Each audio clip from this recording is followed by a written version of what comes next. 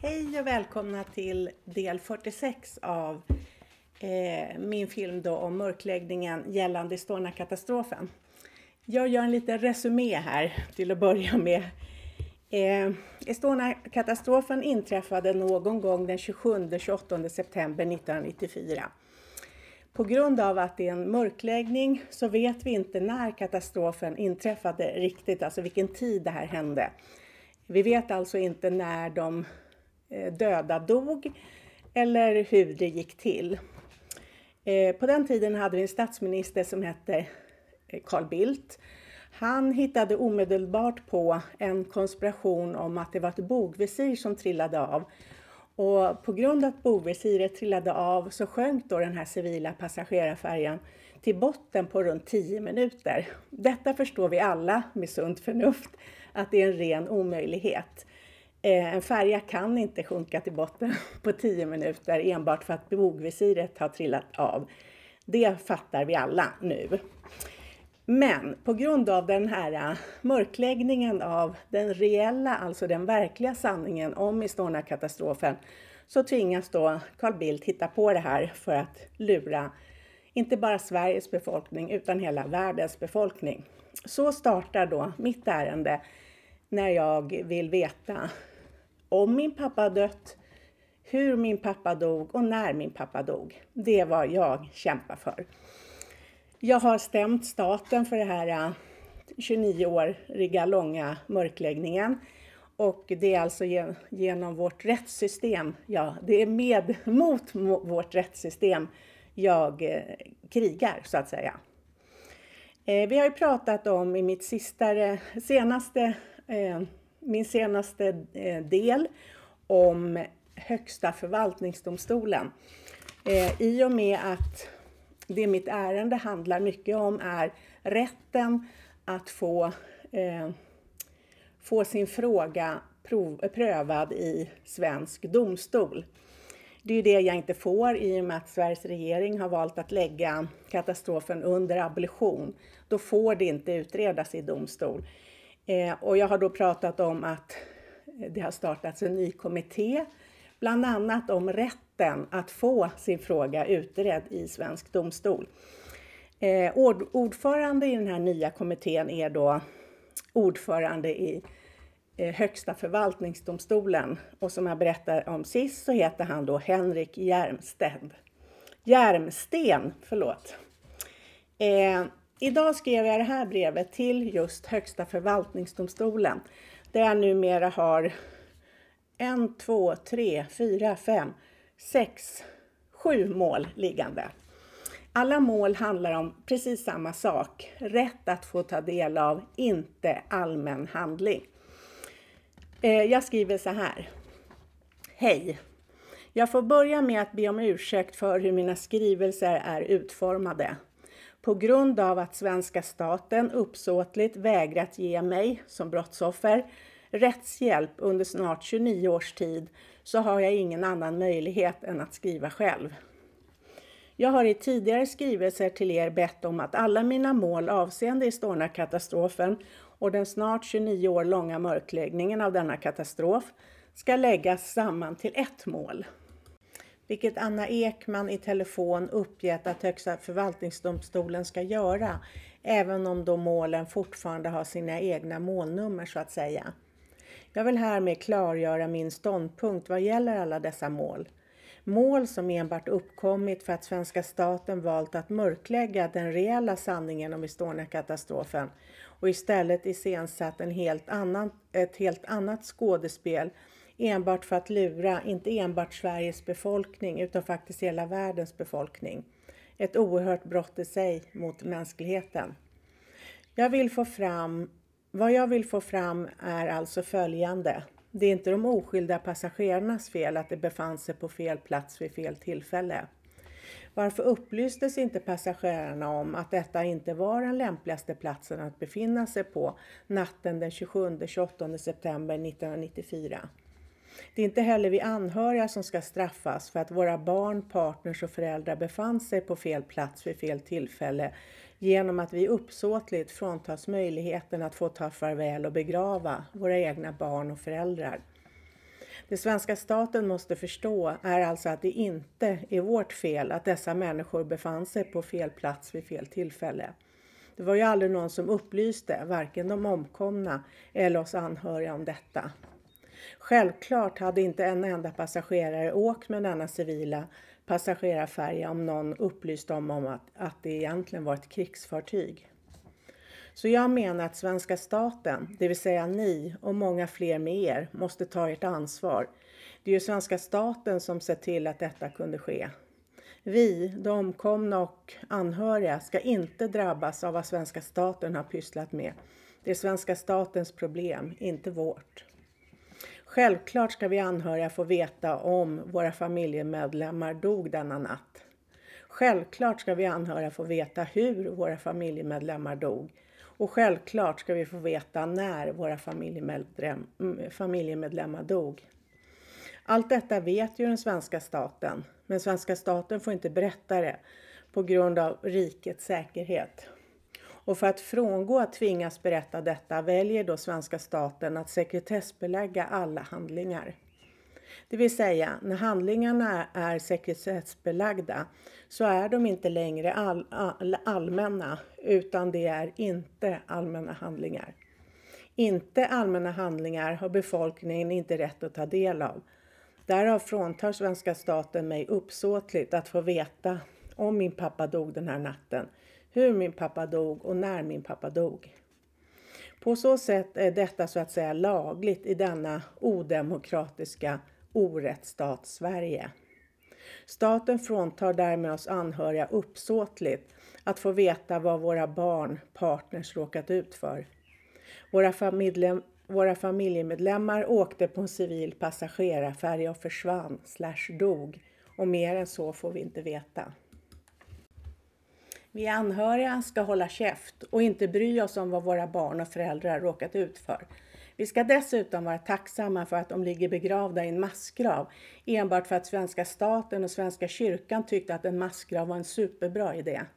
Det är så sjukt som man finner inte ord. Vad har egentligen våra döda familjemedlemmar överhuvudtaget med rikets säkerhet att göra? De åkte ju enbart på en civil vanlig passagerarfärja, trodde de. Och förresten, vad är ens rikets säkerhet? Vi anhöriga ska dessutom självklart få veta varför vi inte själv får omhänderta våra egna barn, partners och föräldrar. Och självklart ska vi få veta varför svenska staten förbjuder de omkomna att bli begravda. Det vill säga, vi ska självklart få veta vilka synnerliga skäl svenska staten har för att frånta oss rätten att omhänderta och begrava våra egna barn och föräldrar. Det är vad allt detta handlar om. Svenska staten uppger att vi måste lära oss av denna fruktansvärda katastrof som tog minst tusen människors liv. Svenska staten låtsas att vi, folket, ska lära oss att bogvisir är farliga. Svenska staten måste lära sig att på detta sätt behandlar man inte omkomna människor som tvingats offra med sina liv. Man krossar inte deras döda kroppar med berg och sten. Man omhändertar döda människor. Svenska staten måste lära sig att på detta sätt behandlar man inte de anhöriga som inte enbart tvingats inse att deras barn och föräldrar omkommit utan dessutom tvingas inse att man aldrig ens kommer få begrava dem. Svenska staten måste lära sig att behandla sin egen befolkning väl. Det är vad svenska staten måste lära sig efter denna fruktansvärda katastrof. Trots att ett liknande fall inträffade år 1952 när DC-3 sköts ner i Östersjön Även då vägrade svenska staten omhänderta de omkomna. De omkomna som gick att återfinna omhändertogs i, i det fallet 40 år senare. Så har svenska staten alltså inte lärt sig ett skit. Hur kan det komma sig? Förstår inte svenska staten att man i stort sett alla människor i hela världen begraver sina döda? Har aldrig svenska staten hört talas om detta? Vi anhöriga till de omkomna i Estonia-katastrofen har nu snart väntat i 30 år på att staten ska omhänderta våra barn och föräldrar och lämna tillbaka dem till oss. Ska även vi tvingas vänta i 10 år till innan svenska staten fattar vad de ska göra? Det är ju helt sinnessjukt att detta har fått pågå så fruktansvärt länge i Sverige. Ett land som påstår sig vara civiliserat och en demokratisk rättsstat. Det är ju som ett skämt. Ett fruktansvärt ont skämt dessutom. Är det så att det verkligen blir krig för att svenska staten omhändertar de omkomna så måste svenska staten personligen uppge detta för oss anhöriga. Svenska staten kan be oss skriva under sekretessavtal där vi får lov att aldrig berätta om varför de omkomna absolut inte får omhändertas och begravas. Men är det så att det inte blir krig om de omkomna omhändertas så ska de omkomna bland de anhöriga som vill, eh, som går att återfinna, omhändertas och lämnas tillbaka till oss.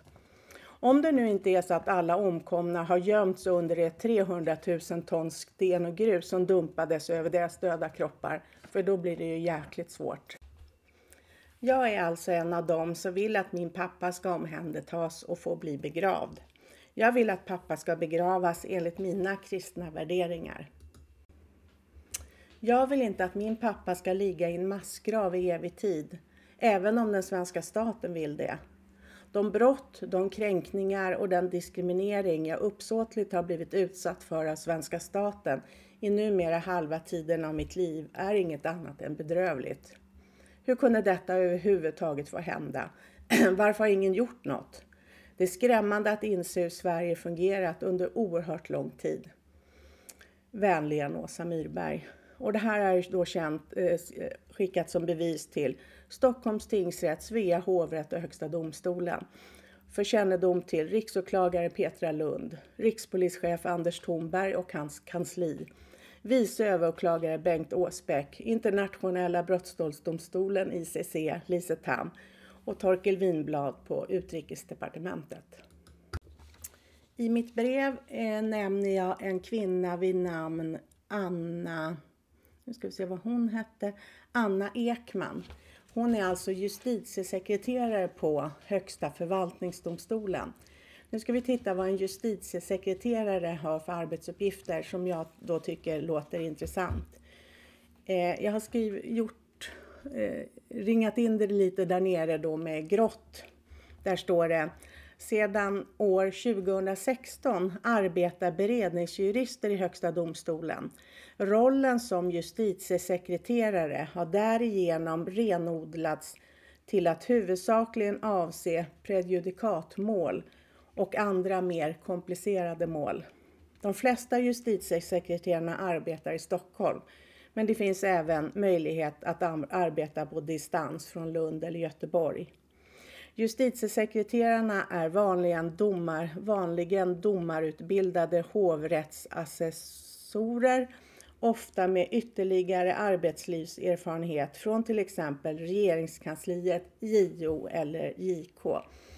Det som är intressant och som jag hoppas på det är alltså att min fråga ska bli ett prejudikatmål. Jag vill alltså att anhöriga ska ha rätt att få veta hur deras barn och föräldrar har mist sina liv. Jag vill också passa på att säga att det är många som är på mig på, eh, i och med att det här då handlar om storpolitik och det handlar om rikets säkerhet så vill jag påminna att det jag pratar om har ingenting med rikets säkerhet att göra. Jag pratar om de omkomna människorna. Människorna som inte ens visste eh, att de befann sig i någonting som var rikets säkerhet. Och därmed menar jag att oavsett hur de här människorna miste sitt liv så ska vi anhöriga få veta hur de miste sina liv, om de miste sina liv, när de miste sina liv. Och det har ingenting i vårt fall med rikets säkerhet att göra. Rikets säkerhet är något som eh, staten får ta ansvar över.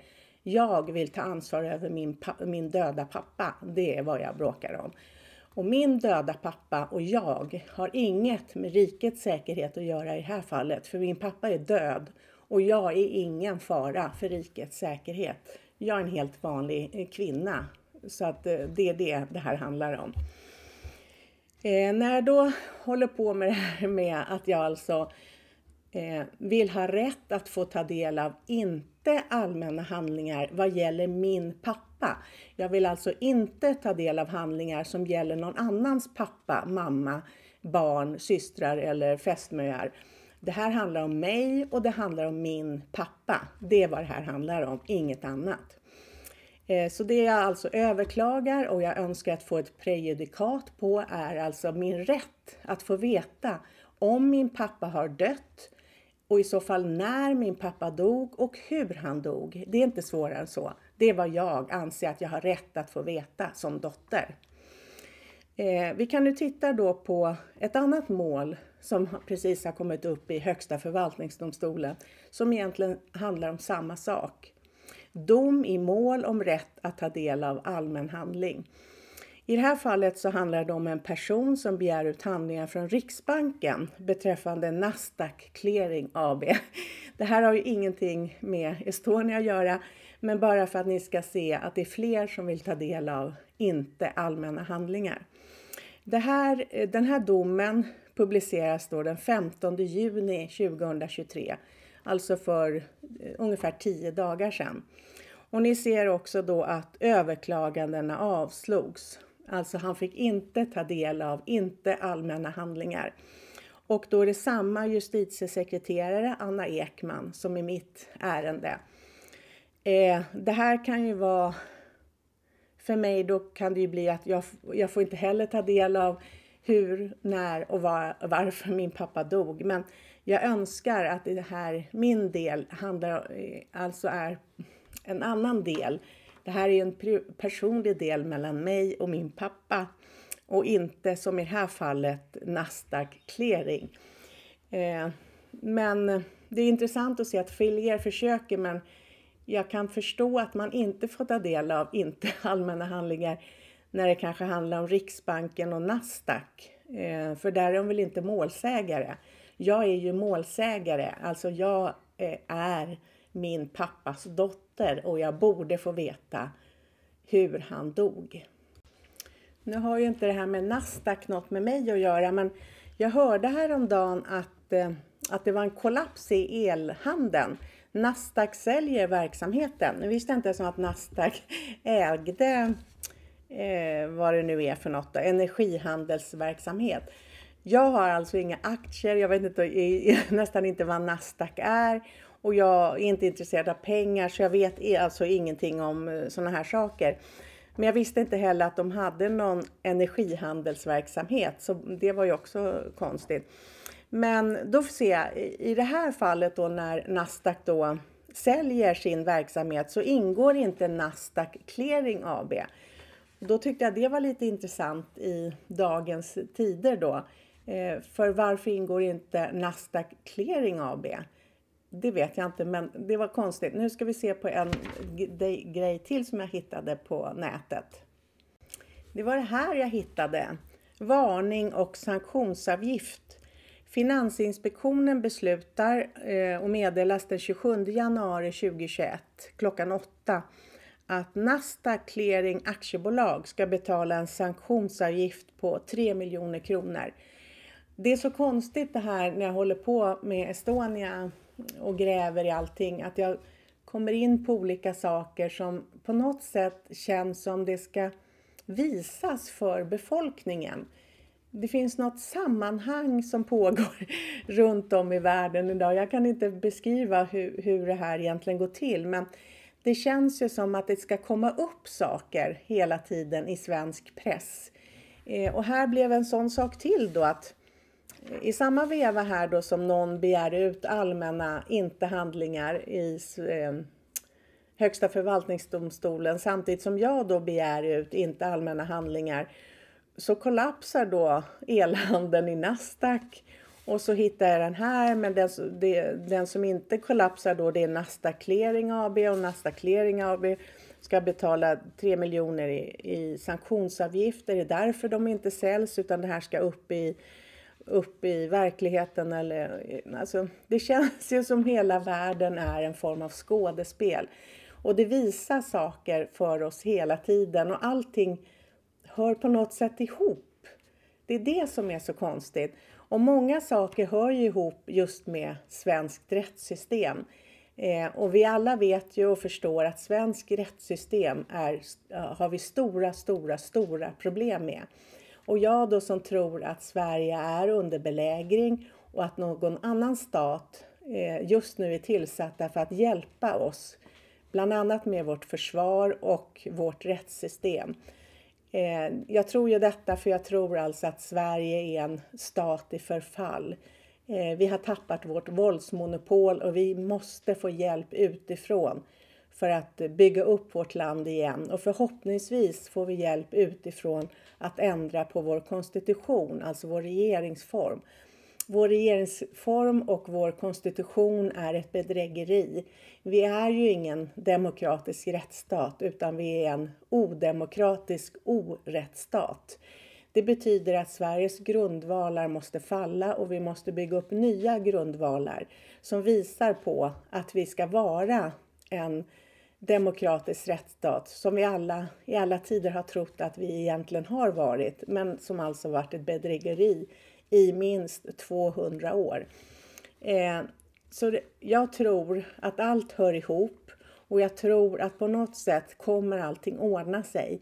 Men det tar tid och jag har blivit någon form av hamnat i någon form av, så, i form av som en bricka på något sätt i det här eh, Eh, med min kamp då för Estonia. Så tiden, jag kom in i tiden eh, på något sätt antagligen när Sverige redan kanske var under belägring och vi redan hade fått hjälp utifrån fast jag inte har vetat om det eller förstått det. Men eh, jag ser ju mer och mer att allt hör ihop. Alltså, som jag sa i mitt sista avsnitt, Estonia är en miniatyr av det som pågår i världen idag. Och därav ser jag mycket genom just Estonia-katastrofen. Men det här var dagens avsnitt då som handlade om Högsta förvaltningsdomstolen. Och då får vi ju vänta och se om jag får prövningstillstånd till Högsta förvaltningsdomstolen eller om det är så att jag inte får prövningstillstånd utan att det kan vara så att det kan vara ICC, Ehm, den internationella domstolen, som påbörjar en tribunal och så slås allt ihop till ett enda ärende vad gäller då mitt ärende i Estonia-katastrofen. Tack för att ni tittade idag. Vi hörs vidare längre fram. Hej då!